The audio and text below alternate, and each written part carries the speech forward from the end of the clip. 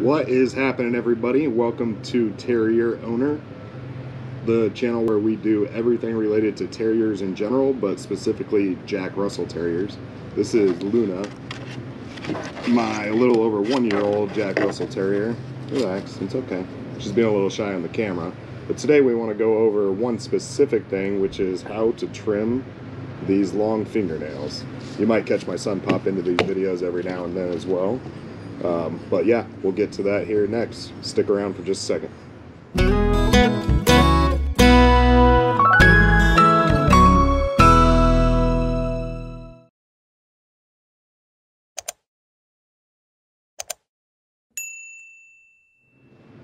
Alright guys, we're back here and I want to go over this video kind of as efficiently as we can, but the whole point is just to cover the basics of... Hold on, bub. Let me do this here. Sorry about that, guys, but go over the basics of how to trim your Jack Russell's nails. Um, one of the key things to remember is that you're not always going to have to. If they get enough exercise where they're out on asphalt or cement, they'll kind of file themselves down naturally she does get out quite a bit on walks, um, and she's out here in the backyard quite a bit, which is a mixture of cement and grass, but she still needs hers trimmed about every four to six weeks. To do it, I'm just using these Boshel nail clippers here. They work awesome. She's pretty comfortable with them. We've done it a few times already. You can get them on Amazon, I think, for 20 bucks, maybe a little bit less, but for how easy and smooth these cut, I would highly recommend them. But biggest thing to keep in mind, and I'll get her a little closer to camera here, is there's really not much to it. All you need to do is make sure that you don't hit those vein lines or those nerves, which are pink underneath the nail. You can see it super easily if you're in pretty good lighting. That's why I just do it outside like this. But let's go through this here real quick.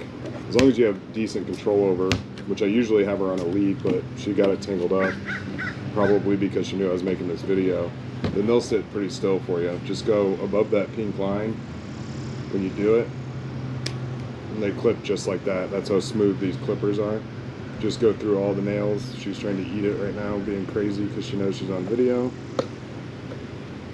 Roan, say hi. Hi.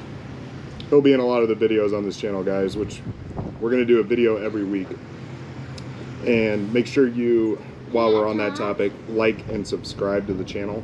Um, she's young. I waited. Hold on, bub. I waited until she was um, closer to 12 to 14 months old before I started really getting involved on the videos here. Mainly because these dogs do take a little bit of time to calm down, so it would have just made me look like an idiot shooting it before that, before she was trained.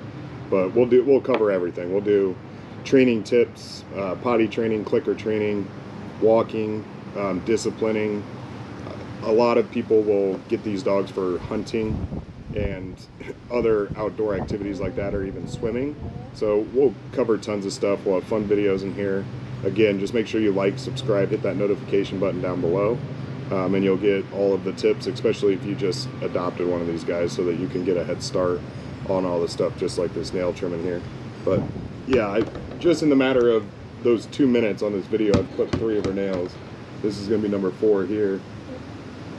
I'm just staying short, trimming them down. That's one done except for the dew claw there. Now she wants to be a little bit pushed back on me here. Six, seven,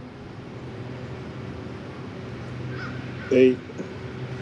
Then you got the back ones, but again, whoa. These guys like to jump too, in case you guys haven't watched that. We'll do a video on that. Yeah, they do like to jump. They're pretty jumpy, aren't they? She's about 10 pounds. Since this is one of the first videos she's in, I figured you guys could meet her here. She is a technically a tricolor, but only two color two colors really come out in her, is obviously you're brown and you're white. Um, I got her from a breeder in my state. She's been awesome. Roan, do you like Luna? She's okay, huh? We'll keep her, I guess. We'll keep you for a little while. Yeah, these dogs are, they love you, affectionate. They do jump. They have they're hyper, but uh, overall, guys, this this nail trimming stuff, it, it's easy.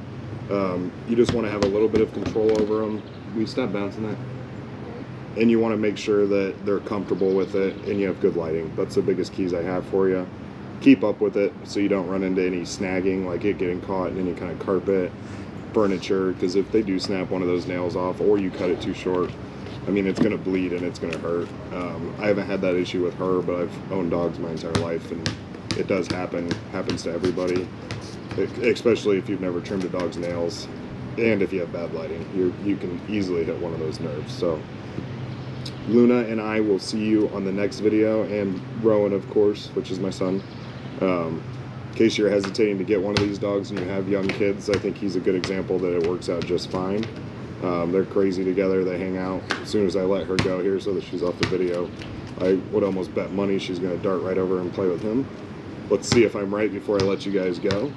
But again, like, subscribe, hit that notification button, and we'll see you guys on the next video. Luna, go get Ron. Go get him. Go get Ron. Call for. Yell for. Yell for Luna. Yell for Luna. Okay.